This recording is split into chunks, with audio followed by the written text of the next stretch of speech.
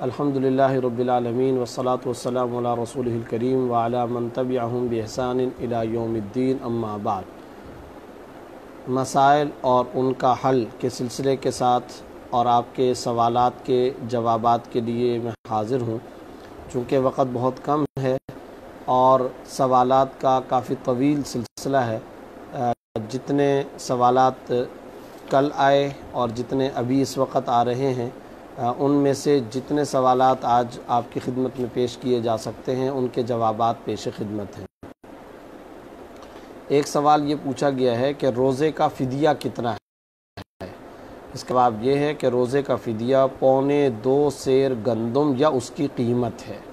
पौने दो शेर गंदम या उसकी कीमत। और आसानी के लिए, समझने के लिए यूँ समझा जा सकता है कि एक सदक़ फ़ितर के बराबर एक रोज़े का फ़िदिया है। दूसरा सवाल ये आया है कि मुफ्ती साहब ज़रा इस सिलसिले में मदद करें कि अगर कोई औरत एतकाफ़ में बैठी हो और उसे मजबूरी, मखसूस मजबूरी पेश आ जाए तो क्या वो एतकाफ़ पूरा करना होगा या ख़त्म हो जाएगा? इस सिलसिले में ये बात याद रखें कि दौरान एतकाफ़ अगर औरत को मखसूस अयाम शुरू हो जाएँ तो ऐसी सूरत में एतकाफ़ टूट जाएगा। रमज़ान के आखिरी अशरे का एतकाफ़ मसनून जब अदा किया जा रहा हो अगर औरत इस तरह के एतकाफ़ के अंदर बैठी हो और दौरान एतकाफ़ मखसूस मजबूरी शुरू हो जाए तो उसका एतकाफ़ टूट जाएगा। अलबत् बाद में एक रोज़े के साथ एक दिन की कज़ा करना वाजिब है। ये मसला समझ लेना चाहिए कि बकिया तमाम अयाम की कज़ा करना लाजिम नहीं है। सिर्फ़ एक दिन की कज़ा वाजिब है और एक दिन की कज़ा की जाएगी। अब क्या पूरा दिन और पूरी रात कज़ा करना बाद में लाजिम और वाजिब है। तो इस सिलसिले में हज़रत फ़ुकाह कराम ने जो तफसील बयान की है, वो तफसील ये है कि अगर तो दिन के वक़्त में ऐसी कोई मखसूस मजबूरी पेश आई है तो फिर किसी दिन रमज़ान के बाद या रमज़ान ही के अंदर या रमज़ान के बाद किसी दिन सुबह सादिक से लेकर गुरूब आफ्ताब तक रोज़े के साथ ये औरत एक दिन के एतकाफ़ की कज़ा कर लेगी। और अगर रात के वक़्त में ये मजबूरी पेश आई थी तो फिर एक दिन और एक रात एतकाफ़ की कज़ा करना वाजिब है। अगला सवाल ये कल आया था कि अगर अफ्तारी का टाइम पूरा हो और अज़ान नहीं हुई तो रोज़ा अफ्तार करना चाहिए या अज़ान का इंतज़ार करना चाहिए? याद रखिए कि अज़ान रोज़ा अफ्तार करने के लिए महज एक अलामत है, एक निशानी है। असल कानून, असल जबता यह है कि अगर टाइम हो गया और टाइम होने का मतलब ये कि अगर गुरूब आफ्ताब हो गया तो रोज़े का अफ्तार का वक़्त आ चुका है।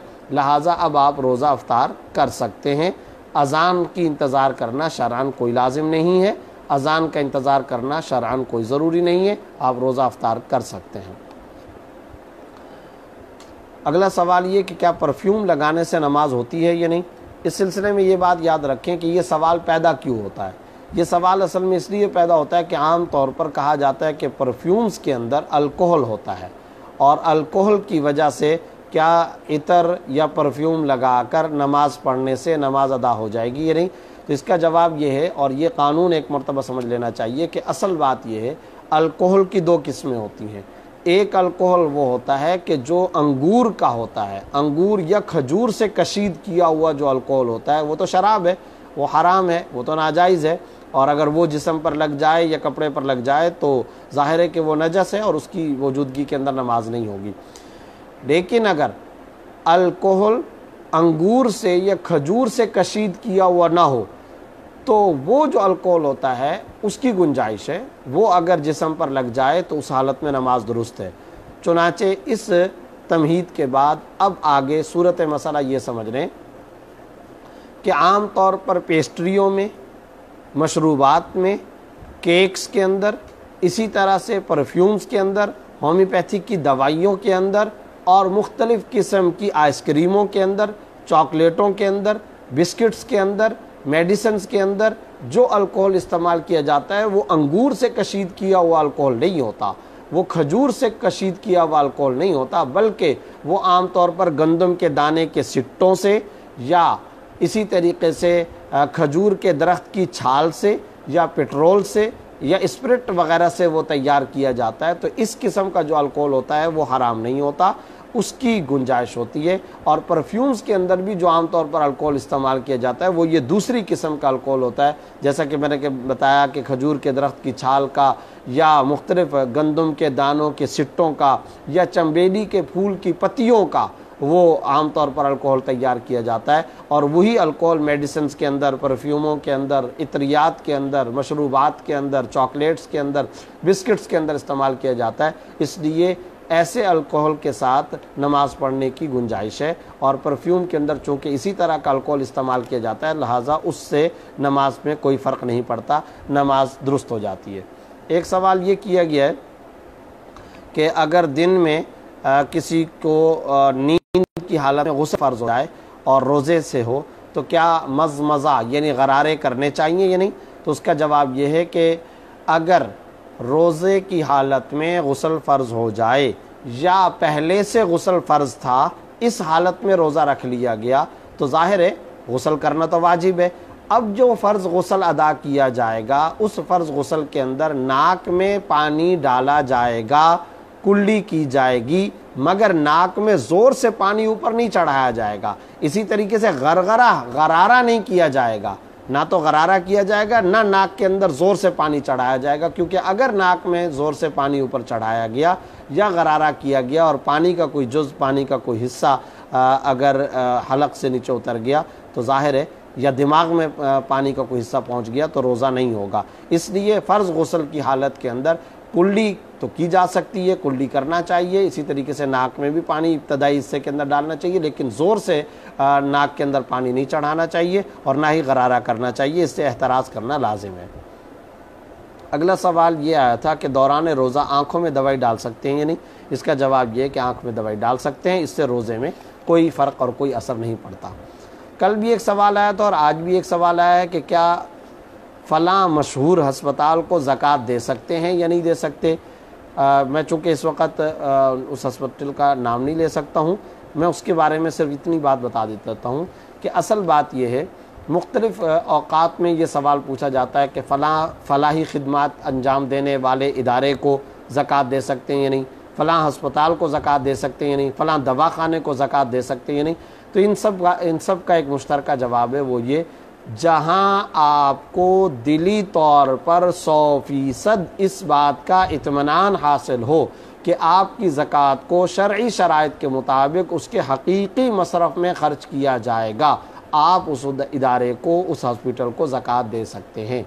लेकिन जहाँ आपको ज़रा सा भी शक हो कि वो शायद ज़क़़त को उसके मसरफ़ पर नहीं लगाएँगे या उसके मसरफ़ पर ख़र्च करेंगे, मगर शर्य शराइ का लिहाज नहीं करते, एक वे है, एक तरीक़ार है। उस शर्य फ़िक्स मुकर्रा तरीक़ार का हस्पताल की इंतज़ामिया या वो फलाही इदारा या उस फलाही इदारे की और वेलफेयर ट्रस्ट और उस इदारे की इंतज़ामिया उसका ख्याल नहीं रखती। तो ऐसी सूरत में अपनी ज़क़़त की इबादत को मशकूक नहीं बनाना चाहिए। उसके अलावा ऐसी जगह पर ज़क़़त देनी चाहिए जहाँ आपको इस किस्म का कोई डाउट, कोई शक, शुबा ना हो। मोहम्मद इस्माइल साहब ने यह सवाल किया है कि कुछ लोग बोलते हैं कि अभी गर्मी है, रोज़े नहीं रखे जाते तो सर्दियों में रख लेंगे। क्या ये ठीक है? नाजायज़ है, बिल्कुल हराम तस्वुर है। इस तस्वुर का शरीयत से कोई ताल्लुक़ नहीं है। बात तो ये है कि गर्मी हो या सर्दी हो, कुतिब अलकुमसयाम कहा गया, रोज़ा फ़र्ज़ है। और जब ये अल्लाह रबुल्ज़त ने फ़र्ज़ किया है, ला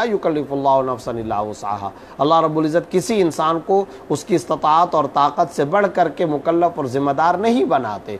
तो इसलिए अगर गर्मी हो तो भी रोज़े रखे जाएँगे। हाँ अगर कोई मरीज़ है, कोई बीमार है तो यकीनन उसका मसला दूसरा है, वो एक अलग बात है। लेकिन आम हालात के अंदर एक तंदुरुस्त आदमी के लिए एक सेहतमंद आदमी के लिए सिर्फ़ गर्मी की वजह से रोज़े को तर्क करना शरान बिल्कुल गलत है। नाजायज़ और हराम तस्वुर है, इससे एतराज़ करना लाजिम है।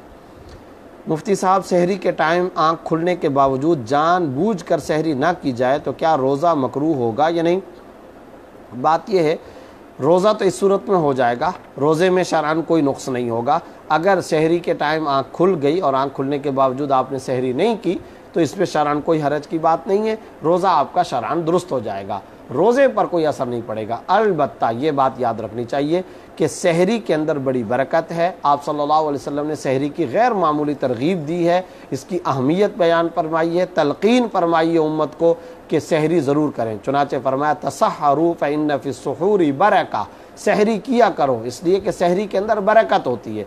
तो ये एक अल्लाह रब्बुल इज़्ज़त की तरफ़ से बरकत का एक सिस्टम है, एक निज़ाम है, एक रूहानी गज़ा हासिल होती है, जिस्मानी गज़ा के साथ साथ, जिस्मानी बदनी खुराक के साथ साथ, इसके अंदर एक कुदरती, एक तकवीनी तौर पर अल्लाह रब्बुल इज़्ज़त की तरफ़ से इसके अंदर एक ख़ास बरकत का भी एक अनसर होता है। इसलिए सहरी को नहीं छोड़ना चाहिए, सहरी करनी चाहिए। लेकिन बिलफर्ज अगर कोई आदमी सहरी नहीं करता, सहरी के बगैर वो रोज़ा रख लेता है शरान उसका रोज़ा बिल्कुल दुरुस्त हो जाएगा। रोज़े में कोई फ़र्क और कोई असर नहीं पड़ेगा। मुनीर साहब ने यह सवाल किया है कि क्या दौरान रोज़ा आँखों में दवाई डाल सकते हैं या नहीं? मैंने इसका जवाब दे दिया है कि दौरान रोज़ा आँखों में दवाई डालने में शरान कोई हरज की बात नहीं है, दवाई डाल सकते हैं। इसी तरीके से एक सवाल ये आया है। मैंने अभी जैसा कि बताया था कि हम ये आम तौर पर परफ्यूम्स के अंदर जो अल्कोहल इस्तेमाल होता है उसमें मैंने बताया था कि दो किस्म के चूँकि अल्कोहल होते हैं, एक अल्कोहल हराम है और एक अल्कोहल वो है जिसकी गुंजाइश होती है। तो सुमैया ख़ान शायद कोई बहन है, कोई ख़ातून है, उन्होंने ये सवाल पूछा है कि हमें ये कैसे मालूम होगा कि कौन सा अल्कोहल है? यानी ये अंगूर से कशीद किया गया अल्कोहल है या ये दूसरा अल्कोहल है? तो इसका जवाब ये है, जैसा कि मैंने बताया कि तमहीदी तौर पर, उसूली तौर पर कि अल्कोहल की में होती हैं। तो मैंने शर्ई तफसील के तौर पर, जबते और असूल के तौर पर अर्ज़ कर दी बात। लेकिन आगे मैंने ये बात भी अर्ज़ कर दी थी कि आम तौर पर परफ्यूम्स वगैरह के अंदर जो अल्कोहल होता है, वो हराम वाला अल्कोहल नहीं होता, वो शराब वाला या अंगूर वाला अल्कोहल नहीं होता। इसलिए परफ्यूम्स के अंदर, चूँकि 99 परसेंट यही मामला है, गालिब मामला यही है, ज़्यादातर अल्कोहल इसी तरह का इस्तेमाल किया जाता है, जैसा कि हज़रत मुफ्तियान कराम ने तहकीक की है, और मेरे उस्ताद और शेख मौलाना मुफ्ती मोहम्मद तकी उस्मानी साहब दामद बरक़ातमिया ने तकमिला फ़तुलमलिम के अंदर भी इसकी वजाहत की है, फतावा उस्मानी की जल्द चहारों के अंदर भी ये बात मौजूद है जो कि अब अनकरीब ज़ेर तबाह है, अनकरीब इन इशात पजीर होने वाली है।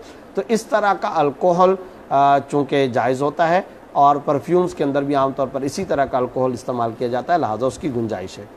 एक सवाल, अब्दुल हसीब मक्की साहब की तरफ़ से यह आया है कि गुर्दे के दर्द के बायस अगर कोई आदमी रोज़ा ना रखे तो क्या उसके बारे में शरान क्या हुक्म होगा? तो इसके बारे में ये बात याद रखें कि अगर कोई ऐसा मरीज़ हो या जैसा कि बताया गया है कि गुर्दे के अंदर तकलीफ़ है तो ऐसी अजियत की हालत के अंदर मर्ज़ बीमारी की वजह से अगर आप रोज़े को तर्क करना चाहें तो रोज़े को तर्क कर सकते हैं। शरान ऐसी सूरत में आप पर किसी किस्म का कोई हरज, कोई गुनाह, कोई आपके ऊपर मुआवजा लागू नहीं होगा। बाद में अलबत् इस रोज़े की कज़ा करनी होगी। जब मतदिल हालत हो और तंदरुस्ती की कैफियत हो तो ऐसी सूरत में बाद में रोज़े की कज़ा करना शरान लाजिम है। ये पूछा गया है कि रोज़ा ना रखने का फ़िदिया कितना है? मैं पहले ही बता चुका हूँ कि रोज़ा ना रख ना रख सकने का जो फ़िदिया है, वो पौने दो शेर गंदम या उसकी कीमत है। अलबत् फ़िदिये के बारे में ये बात जहन के अंदर रखें कि फ़िदिया हर आदमी नहीं दे सकता। यानी ये नहीं है कि कोई आदमी ऐसा है जिसको कोई बीमारी लायक हुई है या कोई मरीज़ है तो बस वो फ़िदिया दे दे। ऐसा नहीं है। बात यह है कि फ़िदिया ऐसा बूढ़ा शेख फ़ानी जिसको अरबी के अंदर शेख फ़ानी कहा जाता है ऐसा बूढ़ा, ऐसा मरीज़, ऐसा माजूर, ऐसा बीमार आदमी दे सकता है, जो इस वक्त बीमार है, रोज़ा रखने की इस्तात हैसियत और ताकत नहीं रखता और मुस्तबिल में भी रोज़ा रख सकने की ताकत आने की उम्मीद नहीं है। मसलन, कोई शेख पानी है नबे साल का, सौ साल का, अस्सी साल का बूढ़ा है और इंतहाई बूढ़ा होने के साथ साथ मरीज़ भी है या इंतहाई बूढ़ा है और अभी रोज़ा रखने की इस्तात नहीं है और मुस्तबिल में भी इसकी उम्मीद नहीं है कि वो रोज़ा रख सकेगा। या कोई ऐसा मोहलिक या मूजी मर्ज़ के अंदर, मुस्तकिल बुनियाद पर मर्ज़ के अंदर मुबतला मरीज़ है, जिसके बारे में इस बात का इम्कान नहीं है, डॉक्टरों की तरफ़ से मायूसी का इजहार कर दिया गया है कि वो मुस्तबिल में भी शायद तंदरुस्ती और सेहत नहीं पा सकता। तो ऐसे आदमी के बारे में शरान ये हुक्म है कि वो फिदिया दे सकता है। हर मरीज़ हर बीमार आदमी फिदिया दे दे, ये तस्वुर शरान गलत है। जो मरीज़ मुस्तबिल में भी रोज़े की कज़ा नहीं कर सकता, ऐसा आदमी रोज़े का फ़िदिया दे सकता है। और फ़िदिया कितना है, वो मैं पहले बता चुका हूँ। आसान लफ्ज़ों के अंदर ये कि एक सदक़ फ़ितर के बराबर रोज़े का फ़िदिया अदा किया जाएगा। अफशा अनवर साहिबा की तरफ़ से ये सवाल आया कि क्या उल्टी के बायस रोज़ा टूट जाता है या नहीं? याद रखें कि ये हमारे माशरे में एक गलत कॉन्सेप्ट मशहूर है कि अगर कै आ गई या उल्टी आ गई तो रोज़ा शायद टूट गया। याद रखें, रोज़ा मुँह के अंदर कुछ जाने से टूटेगा, कुछ निकलने से रोज़ा नहीं टूटता। लिहाजा उल्टी होने से रोज़े पर कोई असर नहीं पड़ता। ये बात जहन के अंदर रखें और ये गलत फहमी ख़त्म कर देनी चाहिए। हाँ एक सूरत होती है और वो शाजो नादर होती है। कभी कभार वो पेश आती है, वाक़ होती है। वो ये कि किसी ने मुँह भर कर उल्टी की और उल्टी के बाद कुछ मवाद बाहर निकल गया और कुछ मवाद मुँह में आने के बाद दोबारा वापस चला गया। तो अगर ऐसी कोई उल्टी की शक्ल और सूरत बने तो ऐसी सूरत में ज़ाहिर है कि वो जो मवाद वापस अंदर को गया है, उससे रोज़ा टूट जाता है, वरना आम हालात के अंदर उल्टी आने से रोज़े पर कोई असर नहीं पड़ता, ना रोज़ा मकरू होता है और ना ही रोज़ा टूटता है।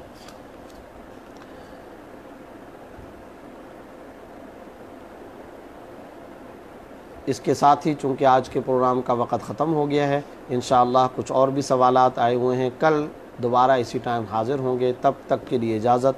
असलकम वरहमल वर्का